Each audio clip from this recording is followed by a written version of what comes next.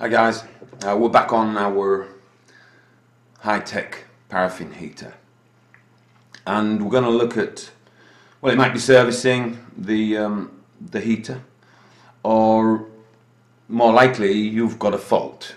And this could be an E4 fault which is probably the most the most common.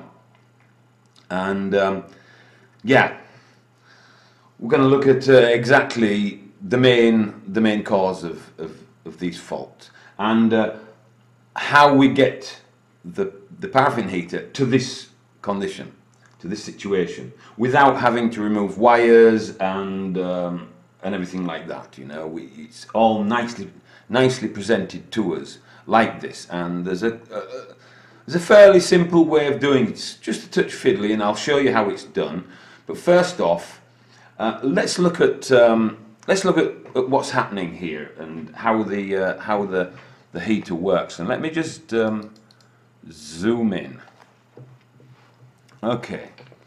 So what we have here at this side is the sparker.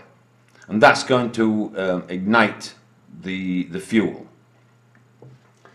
And here we have on this side you can see here the flame rod and this sits in the flame and uh, it senses um, the condition of the flame and thereby controls the amount of fuel that is being pumped in order to regulate the flame. Also, if the flame goes out, this will sense it immediately and it will cut off the pump.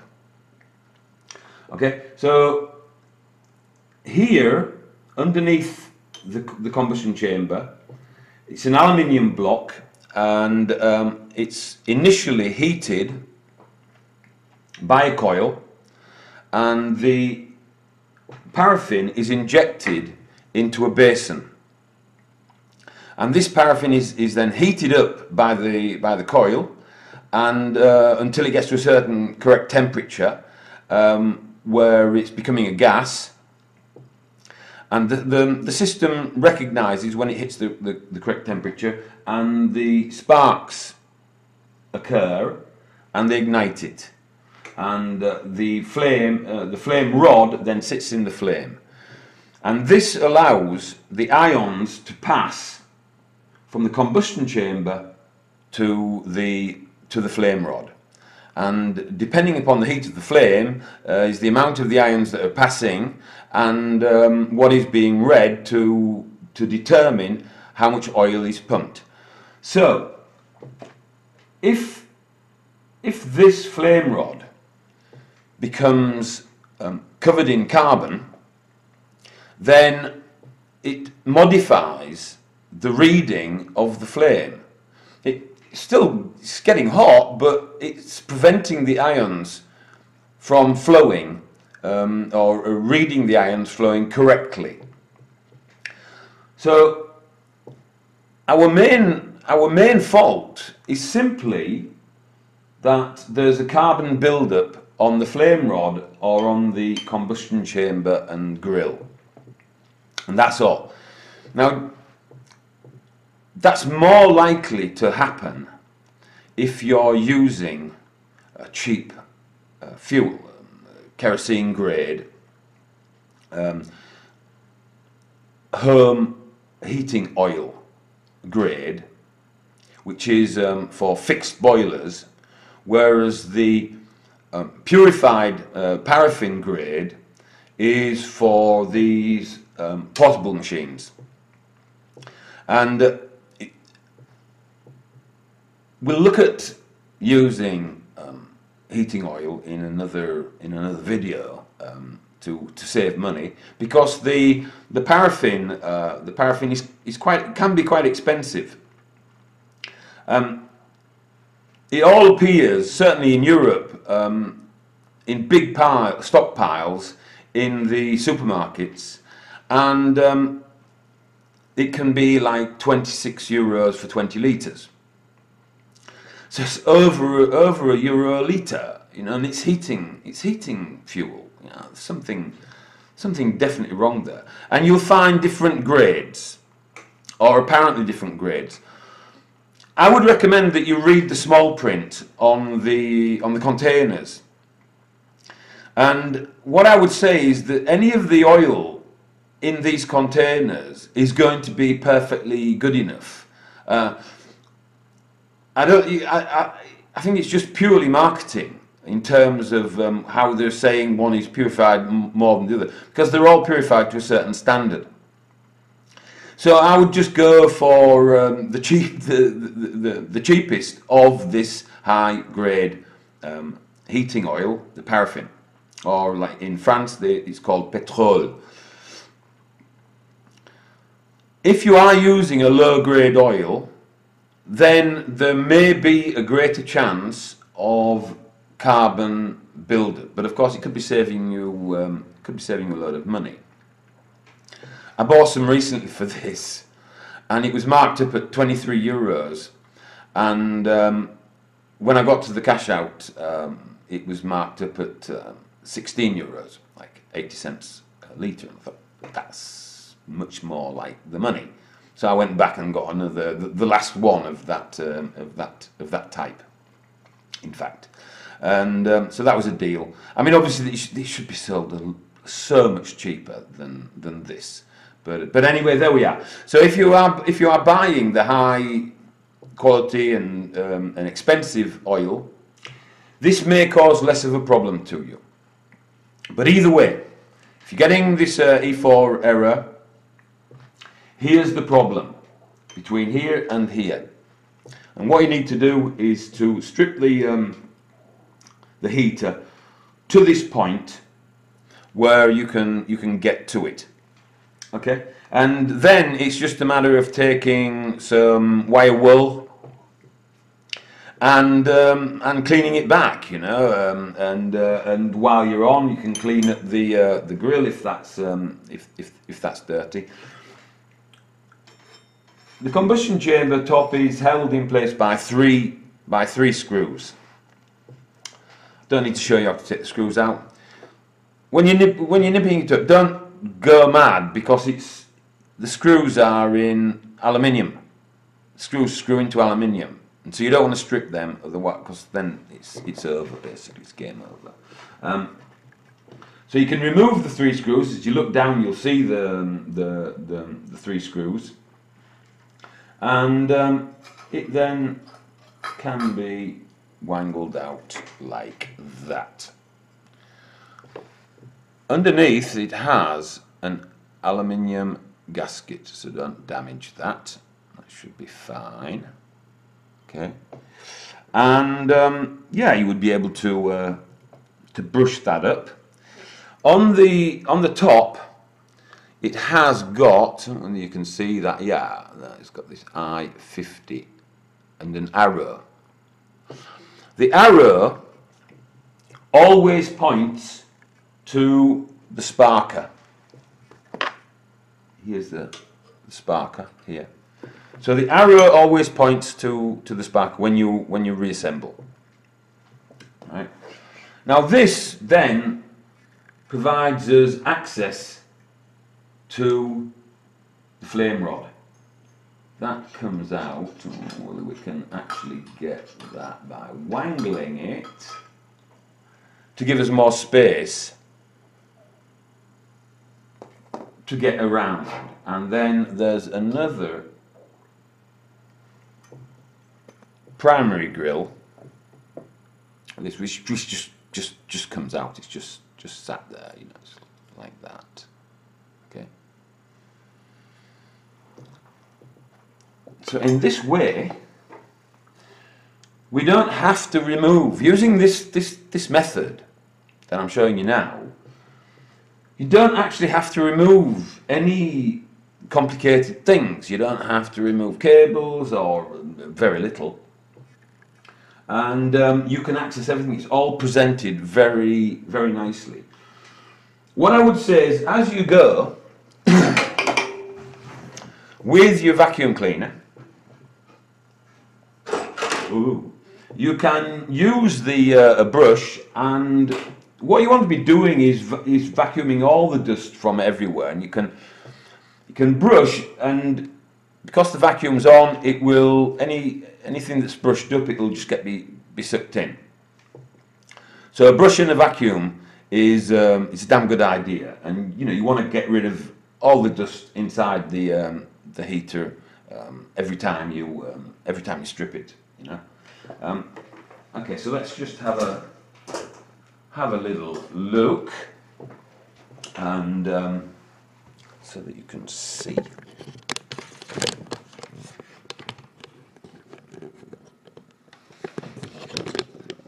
Just messing around a touch here.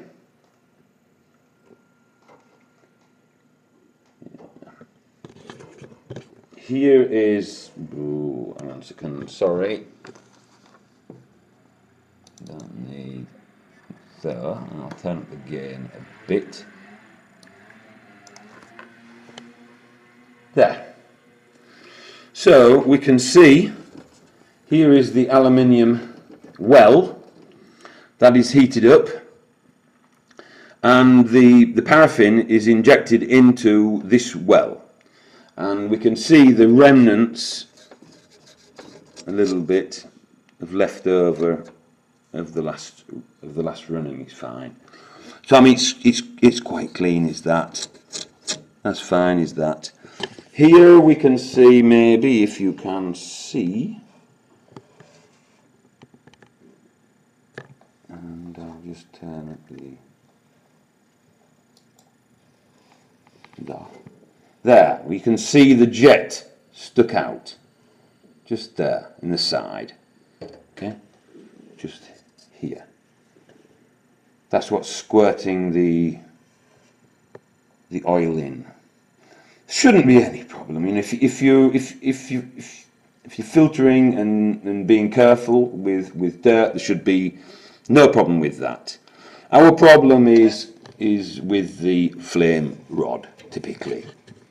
Okay, but that's how it is. Back.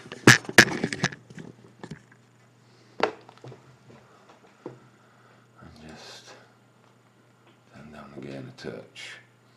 Okay, and um, and yeah, so um, in fact, you just try and find yourself.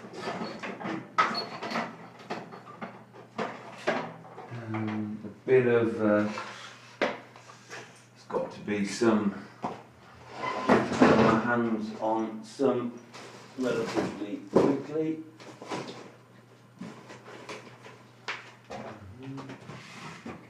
yeah.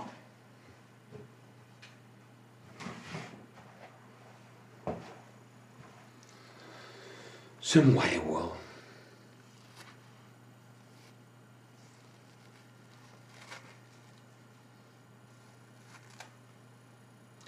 and pull yourself a bit off. And uh, I mean, mine's mine's clean, you know. There's no problem with it.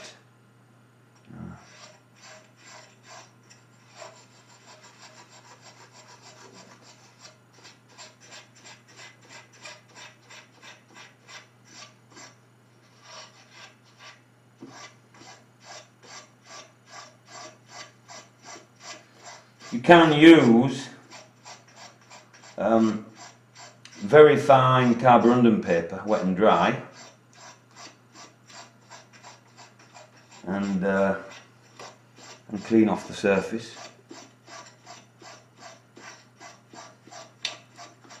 Just spend time with your uh, with your wire wool. Okay. Bringing it back to new. If you were, if you were using a bit of uh, a bit of wet and dry,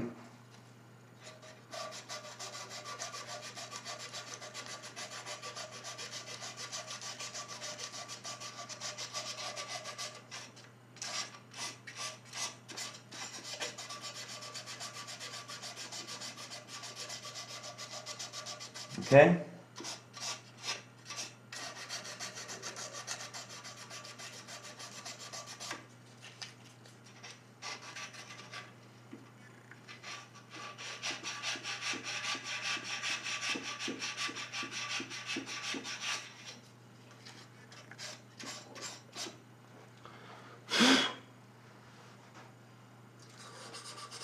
Give the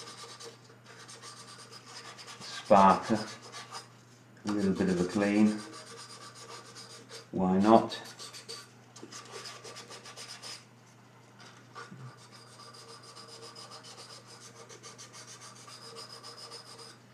I mean, it's sparking from this side. There's nothing. There's no real worry about the back. And really, it's the same with the ions. It's coming from this side, jumping from the combustion chamber to the flame rod.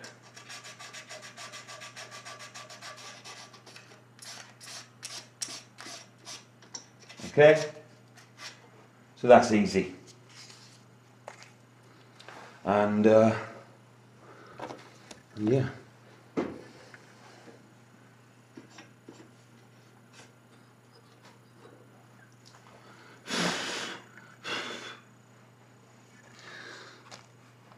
For the um, for the other side, so obviously you need to be looking at, at this side, and we know that it's um, from the arrow. We know exactly where we're looking, and um, and you can clean you can clean uh, this up if if there's um, if there's a build up, and uh, mine isn't bad as I say.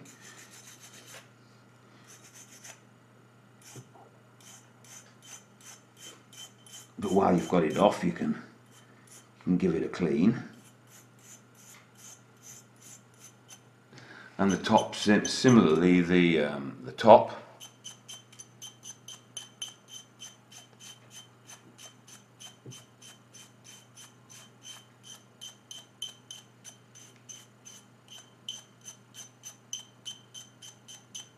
So that's looking a lot better. Uh, if you want to know exactly, you can just pop it back in place. And you know exactly where it's, uh, where it's in contact. So the, the, the main area uh, would be here where the ions are flowing. So you'd look at that area particularly and see that it's entirely clean. And um, yeah, you could you would be able to use um, um, a copper a copper wire brush, a little fine copper wire brush to, um, to clean it off if the if the toothbrush wasn't working away. But but yeah, you know, just just giving a bit of a clean up, and that's it. You know, we can we can we can reassemble. You know, once you've got all the dust out and everything, then it's just a case of um, of, of of reassembly, and uh, it's going to work. You know you've solved the problem. Um, because you might be thinking, oh God, it's the it's the it's the pump which is which is down here. Here's the pump, and here's the um, the copper feed to the to the injector. And you might be thinking, oh, it's the it's the pump that's failing, it's not sending the right amount of of, um, of of juice out, you know. But no, in fact, you know, it's all just down to this flame rod being dirty and maybe the uh, combustion chamber, you know, um, and that's all. Okay, so getting to this point, slightly fiddly, you know, that's all, slightly fiddly. Um, you've got to take off the top and. Um,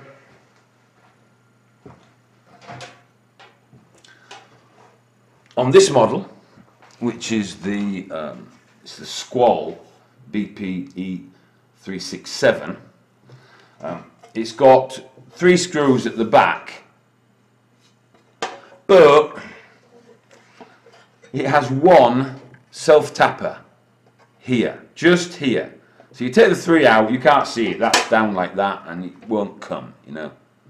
So take the three out, and then don't forget to lift that and then just sort of hold it just there like that and that will expose the self-tapping screw. Alright that you can then put into one of your save pilchard tins or whatever you know like that. Um, the control panel on the top you'll see when you when you here's the control panel. You'll see in fact there are clips here four clips now with this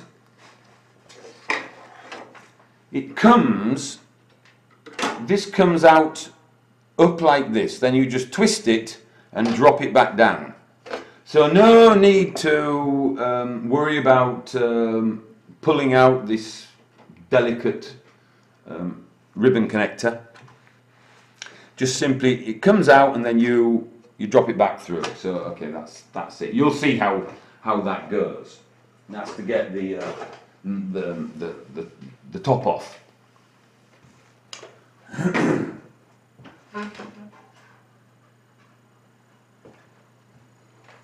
this is your your problem one how to get how to get this out and leave this here standing well the first thing that you have to do is you have to turn this round. Okay. First thing to do is to remove the fan. And this gives you a chance to then clean off the dust on it and it's removed by four screws. That comes off and it then allows you access to another four screws that you'll see and these four screws these hold the back of the box can we see one, two, three, four. Okay? You can either support this or you can then put that back on. I mean, I left it off because you get more light in and you can see you can see better, but uh, you'd have to support it because there's um there's a cable attached. Okay, I think that's and yeah, and, and obviously clean all the dust off and everything. Um, now, let's bring it back round again. Okay. There is an additional screw here. One screw at the front. Okay, so it's four at the back and one screw at the front. And then there are these little nibs here that just stick into these holes. Mm -hmm. There they are. And that locks it in place. Right, okay, so the key is, now you, you know, you'll, you, you, you'll do all that, you'll take all that off and you'll, oh my God, it's not coming. Be careful, you know, this is loose. You can see that, it's loose. I'm wanting to, to, to leave that unaffected. All right. You've done everything just with a Phillips screwdriver. Everything. One Phillips screwdriver. Most of the screws are exactly the same. So you've taken off four at the back and you've taken off this one screw here. Now, what you do is you insert the screw in between here and the base. Okay, you insert it in and twist. And this then prizes the box up and loose. Okay, the fiddly bit is that you cannot pull it out at this moment. Alright? you have to push it backwards. You have to push it backwards. Okay? So, here it is, over this unit here, over this base. you must actually maneuver it. Once it's up, you push it back and then up and then it can come out. Right? Because it's also down the back here. But there's no screw there. It's literally just clipped in place. So you lift and push it back and somehow because of you've got this lip here for the fan you have to avoid that but as long as you know um, exactly this is how it works you, you know then you you know what you're trying to achieve you know it com- it comes off and you know that's how it comes off. And so you should be fine. It's just a little bit fiddly because this gets in the way and you know but you can pull that back and give yourself room for it to to move backwards and then lift up. And then you're sorted. And then you can clean all the the, the, the dust out from that as well. And that's then out of the way. And um, be careful. It's got a gasket on the bottom. Okay? Just be careful of that don't damage it there is some residue here as you can see there it's fine just be careful yeah, and that um, and that's how you um, how it's all displayed and um, easy to get at. Uh, it's well within the capabilities of anybody you know that's prepared to have a go. Um, yeah, keep all your. Um, there's the air filter, by the way.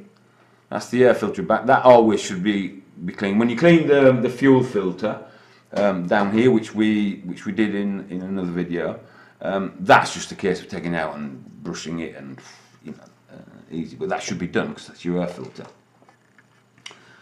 And uh, yeah, then then then reassemble, um, um, put it back, and and hey presto, you know. I mean, this didn't have an error error fault on it. I'm, I've just taken it apart to show you exactly how it's done. All right, guys. Um, yeah, good luck with that. All right, I'll, I'll see you later. Bye.